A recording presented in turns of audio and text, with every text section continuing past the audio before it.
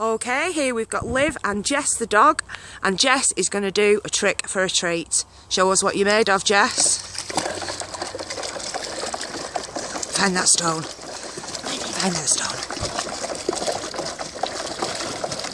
Jess. And Jess gets her treat. Treat, Jess. Treat. Yay.